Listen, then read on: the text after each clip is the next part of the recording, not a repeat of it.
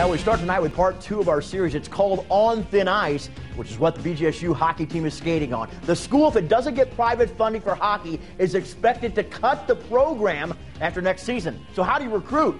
What do you tell your alumni? Former Falcon Ian Duncan played on BGSU's national championship team back in 1984. Here's Howard Chin. Kane moves it in. Kane's got Cavallini cutting in. Cavallini, he scores! Cavallini! Gino Cavallini has brought Bowling Green a national championship.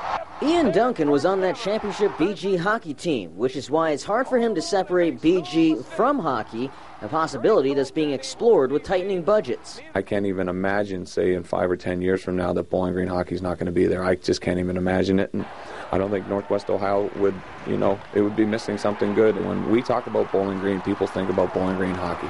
I still get asked questions about that national championship game 25 years ago, and it's just one of those things that I, it, it gives a chill down my spine. But back then, the ice arena was the cool place to play. 25 years ago, Howard, that was a brand new facility, basically, when I was there as a freshman, and it was one of the top four or five or top three in the CCHA.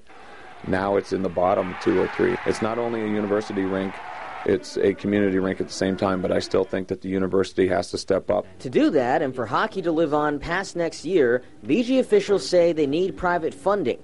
Sometime in the next few months, Duncan says prominent BG hockey alumni will meet with their alma mater. They just want to, you know, get get some funding for the rink, some upgrades for the facility, and then Scott Paluch can go out and gain the respect of the recruits because that's the problem right now. But until a decision's made, the program that's already on thin ice could see past memories, championship or not, melt away.